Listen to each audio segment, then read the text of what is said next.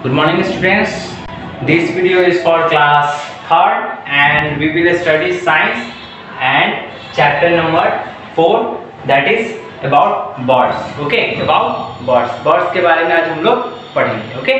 तो जान लेते हैं बर्ड्स में यहाँ पे क्या कह रहा है वो जाने यहाँ क्या कह रहा है birds are a wonderful creatures birds क्या है बहुत सुंदर क्रिएचर है यानी कि हमारे संसार में वो जो बर्ड है वो भी एक क्रिएचर है जीव है जंतु है जो कि बहुत सुंदर है okay birds are different kinds and colours birds में भी क्या होते हैं? बहुत सारे प्रकार के होते हैं ठीक है ना? Different kinds and different colours के होते हैं। बहुत से कोई छोटे होते हैं कोई बड़े होते हैं कोई का कलर ब्लू होता है कोई का ब्राउन होता है बहुत सारे कलर्स के होते हैं।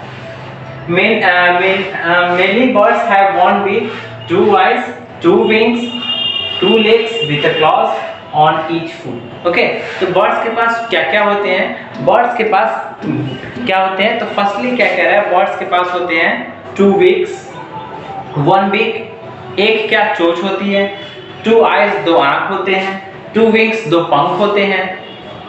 टू लेग विथ क्लॉस दो क्या होते हैं? लेग पैर होते हैं, जिसमें पंजे होते हैं। दोनों पैर में पंजे होते हैं। Okay next is next topic is what what helps a bird to fly अब क्या मदद करता है बर्ड को उड़ने में?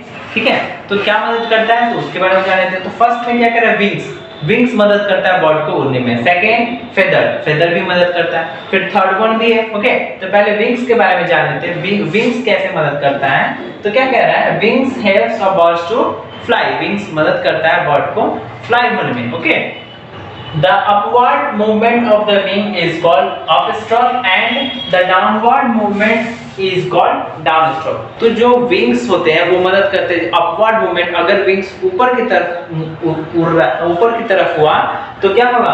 अप स्ट्रोक उसको बोलते हैं। यानी कि अगर पंख ऊपर की तरफ़ हुआ तो अप स्ट्रोक बोलते हैं। और पंख जो है, वो नीचे की तरफ़ हुआ तो उसको हम लोग बोलते हैं डाउन स्ट्रोक ठीक है?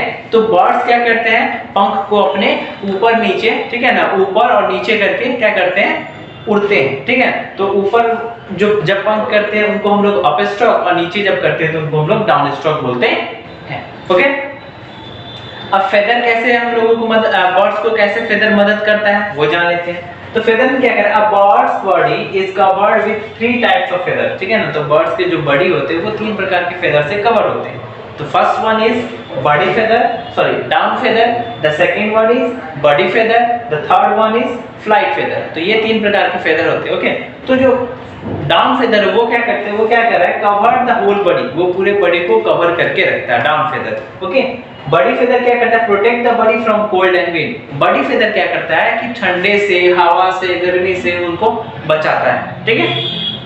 नेक्स्ट फ़्लाइट फेदर क्या करता है? Helps the bird to fly flight feather का क्या काम है?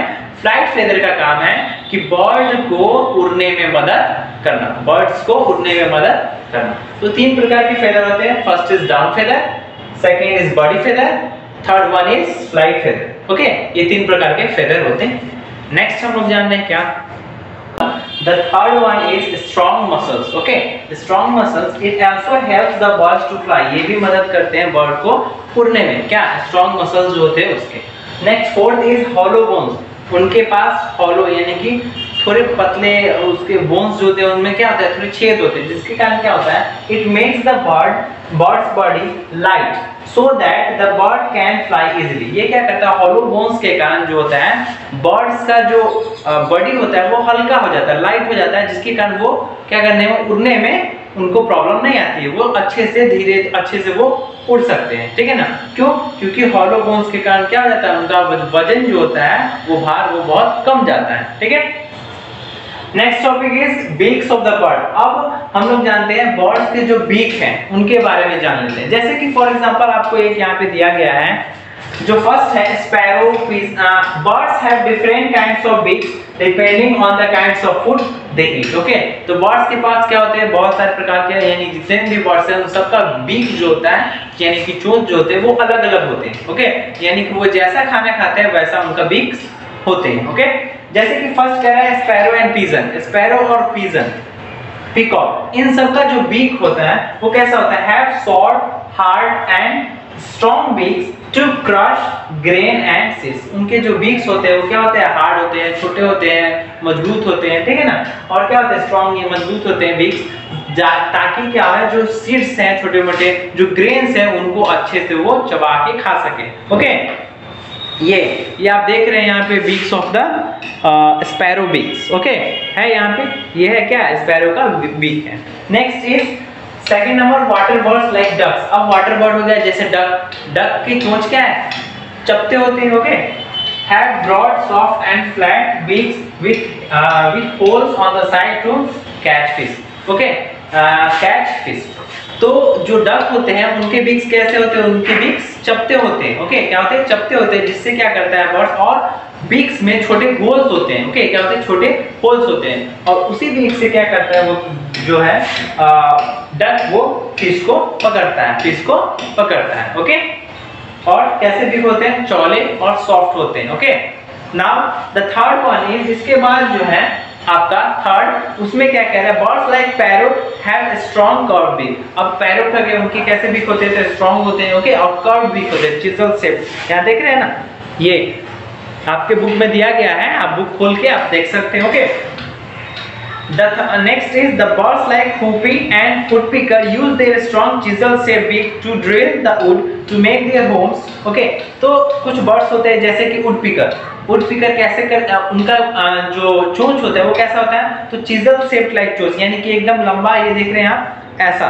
ओके तो वो क्या क्या करता है? वो अपना घर जो है वो आ, पेड़ जो है पेड़ के जो ट्रंक होते हैं यानी कि टहनिया उसमें वो छेद करके वो बनाते हैं। ओके कि और वो क्या करते हैं, उसको छेद करते हैं। उनका जो बीक्स होता है, वो बहुत ज़्यादा मज़बूत होता है।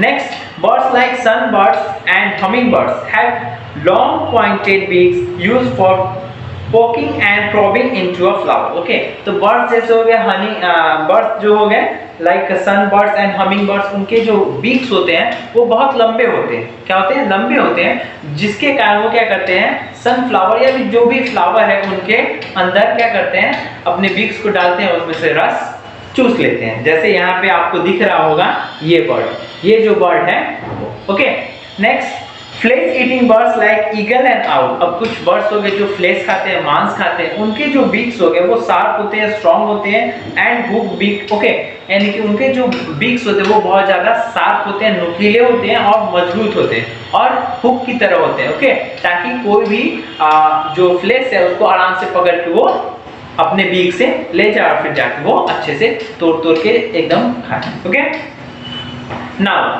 अब आते हैं हम लोग feet and claws of the bird मैंने पढ़ाया अभी थोड़ी देर में क्या? बीक्स ऑफ़ द बर्ड और फीट एंड क्लॉज के बारे में, यानी कि पंजों के बारे में आप हम लोग जानते हैं ओके